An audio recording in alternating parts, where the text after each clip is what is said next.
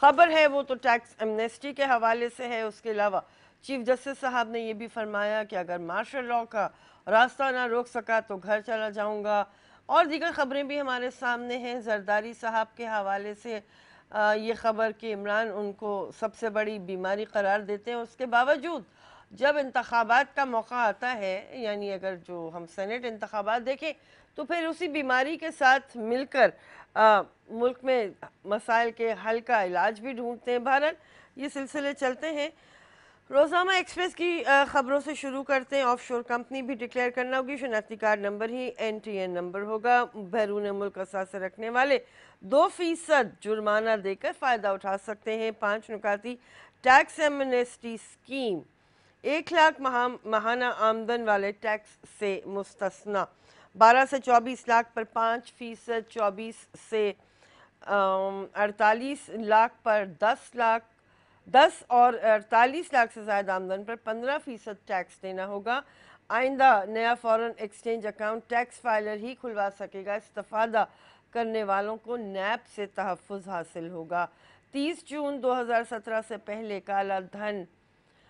پانچ فیصد ٹیکس ادائیگی پر قانونی یکم جولائی دو ہزار اٹھارہ سے پراپرٹی ٹیکس، پراپرٹی کے لیے ایف بی آر کے مقرر کردہ ریٹس ختم۔ ٹیکس نیٹ کا دائرہ کار تیس لوگوں تک بڑھائیں گے، وزیر اعظم، اور اس سکیم پر ملا جلا رد عمل سامنے آیا۔ کچھ نے کہا کہ یہ بہتر سکیم آ گئی ہے۔ کچھ نے کہا کہ یہ مخصوص طبقوں کو ہی نوازنے کی ایک نئی کوشش ہے۔ اس کے علاوہ اگر دیگر خبریں روزانہ جنگ میں دیکھیں سرخی اور شہ سرخی، تو یہاں پہ بھی ہمیں تقریباً وہی خبریں نظر آ رہی ہیں۔ روزانہ ایکسپریس کی جو شہ سرخی تھی، وہ بھی جو میں نے بھی بات بتایا آپ کو چیف جسٹس صاحب آئین میں انتخابات کے التوا کی کوئی گنجائش نہیں، مارشل لاء روک نہ سکا تو گھر چلا جاؤں گا۔ چیف جسٹس اکیلا بھی ہوا تو مارشل لاء کو معطل ضرور کروں گا۔ جوڈیشل مارشل لاء یا ٹیک اوور کی افواہیں منفی سوچ ہے اب وہ وقت نہیں کہ ہم یہ غلازت اور گندگی اپنے ماتھے پر لگائیں۔ الیکشن بر وقت ہوں گے، اب کوئی مارشل لاء کی گند منہ پر نہیں ملے گا، نہ روک سکا تو گھر جاؤں گا۔ چیف جسٹس، آج کی جنگ کی شے سرخی اور سرخی بھی۔ ٹیکس امنیسٹی کے حوالے سے ہی ہے، پانچ نکاتی ٹیکس امنیسٹی۔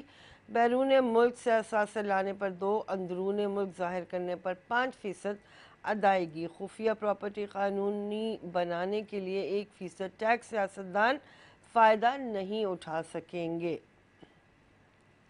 فاٹا کو قومی دھارے میں لانا قبائلیوں کی خواہش ہے۔ یہ کہا آرمی چیف نے جب وہ نقیب اللہ کے اہل خانہ سے ملاقات کے لیے ان کے گھر تشریف لے گئے تھے، نقیب اللہ کے اہل خانہ کو انصاف دلانے کے لیے تعاون کریں گے۔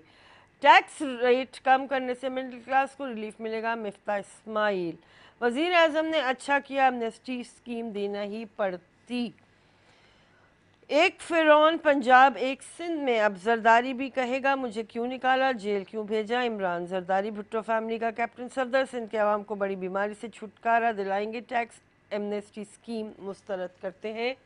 اور پیپلز پارٹی نے بھی اس کو مسترد کیا اور کہا ہے کہ وہ مزاحمت کریں گے۔ تحریک انصاف اور پیپلز پارٹی نے ایمنسٹی اسکیم مسترد کر دی۔ مزاحمت کا فیصلہ قوم کی جیبوں پر ڈاکہ ڈالتے وقت شرم کی نہایا کا مظاہرہ کیا گیا Asad Umar.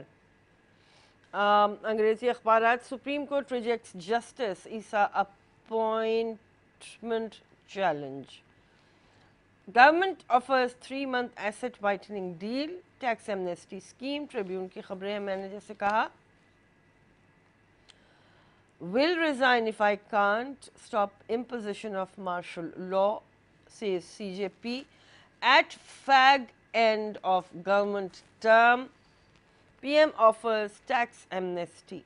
JIT chief says Nawaz got last pay from son's firm in August 2013. Supreme Court dismisses pleas against Justice Isa's appointment. Islamabad Kabul trade charges ahead of Abbasi's visit.